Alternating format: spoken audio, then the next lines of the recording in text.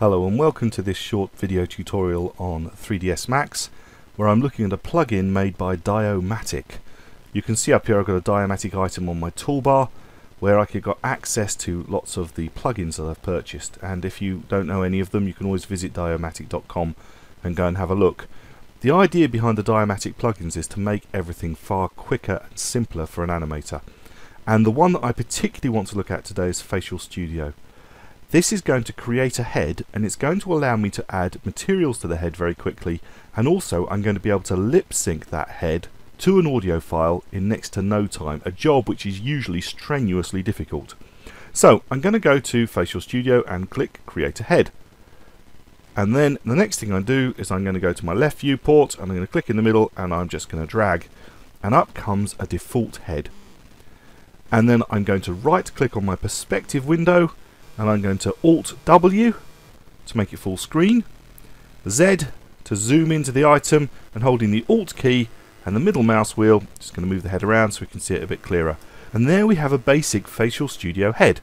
Now Facial Studio is available in uh, as a Windows product, it's available to work in other programs as well I believe, but you can certainly create it very quickly and very simply in 3ds Max with this. Now of course it is fully customizable, so we just go across to the modify panel and as soon as we get to the modify panel you'll see here it says facial studio. Hit the plus sign you've got all the different bits and pieces we can work on. So for instance shape. If I open up shapes and I'm just going to pull this out because we're probably going to end up looking at a few columns you can see that I can change it from female to male. And we can decide if we want it to be quite African looking or maybe we want it to be Asian looking or maybe Indian American or American Indian. So you've got a whole bunch of ideas that you can play with with these sliders very simply and very quickly. You can even make it slightly asymmetric to be a bit more real world. You can have something that's highly average or highly stylized. You've got all of these sliders to play with, plus you've got cat mouths and other bits and pieces to play with. If you don't know quite where to start, you can even click the random button, and the random button will give you all kinds of different heads to play with from all sorts of different looks. So we can start with something that says, I know, let's say, let's start with someone who looks like this. Okay, so I've got head created for me, but say I want to change something. Say I want his ears to stick up a bit. Well, look, there's an ears tab. Click on the ears tab and look at all the options I've got. So, for instance, we the rotation of the ears. So let's have a look at the X rotation, or maybe it's the Z rotation. There you go, the Z rotation. We can either decide whether we want the ears to be slightly further up the head or further down the head. I might them slightly up, maybe not quite that much. And we can fiddle around and you get the idea. You can play around to your heart's content with all the different items that you've got here to go through and some of them are very involved. You see if you go to the eyes you've got lots and lots of bits and pieces that you can play with. So that's how simple it is to create a head and modify the head. You've got options to be able to play with the um, overall resolution of the item, and all kinds of other bits and pieces. I'm not going to go into all of them. But also we can apply materials very simply to the head. Because at the moment, if I was to do a quick preview of the head, just click the render production, you'll see that there's no materials on the head. Um, however, if I go back up to Facial Studio at the top, you see that I've got something here that says apply head materials. Click apply head materials, and it gives me kind of a default material, but if I hit well, I would hit F9, but that'll stop my recording, so I'm just going to hit render production, and you'll see it is just a generic material. However, to be able to add actual faces or facial material onto it, you open up your material editor, and then you take the picker to get materials from your object, because bear in mind, something has actually been applied. Take your picker, go across to your head, and click to collect the material.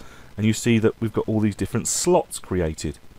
Now we can actually add into those slots the materials that we have got loaded on the machine when we put in Facial Studio.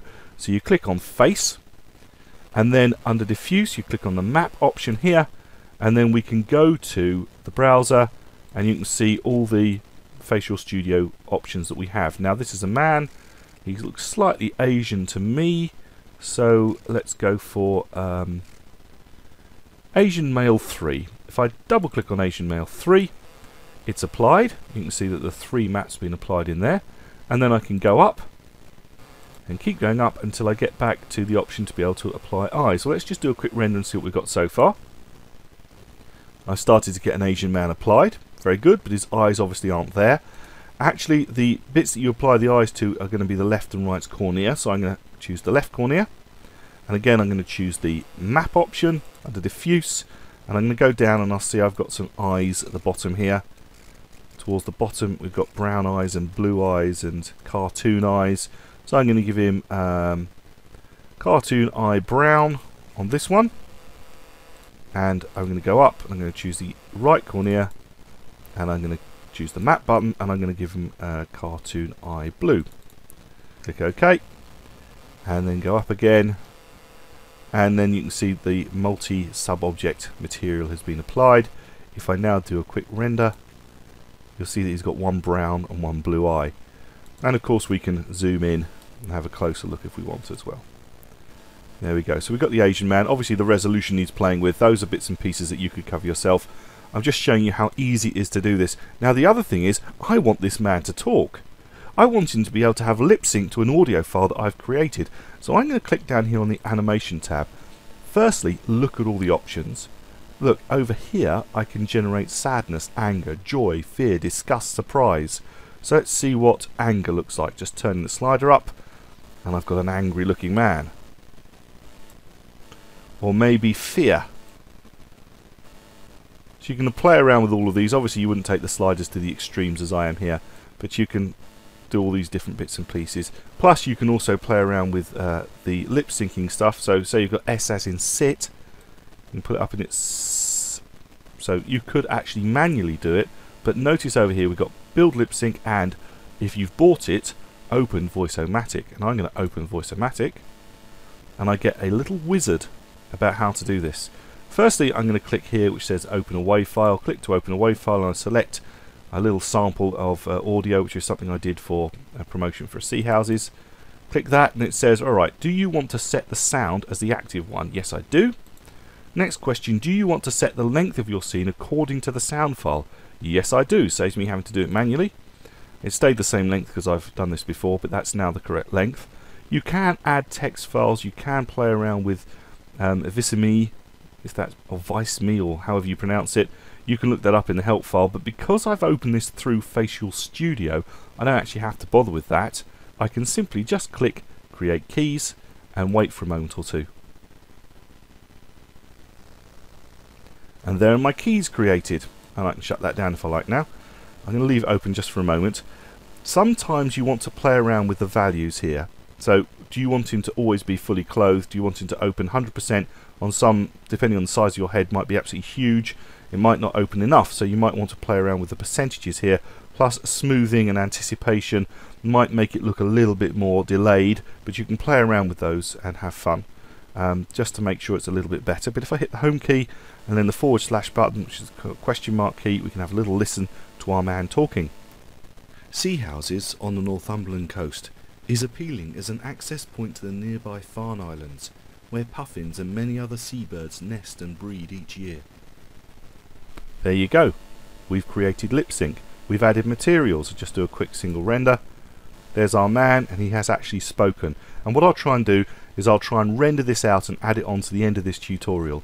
So, would I recommend this? Well, if you want to create heads and you want them to lip sync and talk, and you want to be able to add all kinds of emotions and other bits and pieces, I'd say this is a no-brainer.